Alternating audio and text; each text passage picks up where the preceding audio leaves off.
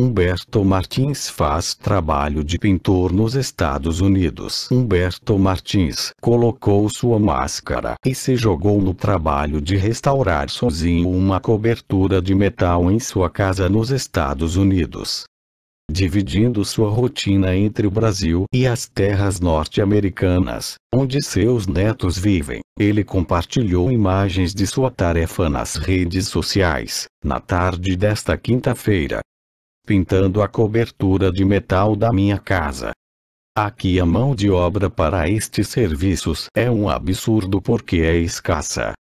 E para os profissionais do ramo sobra trabalho, explicou ele.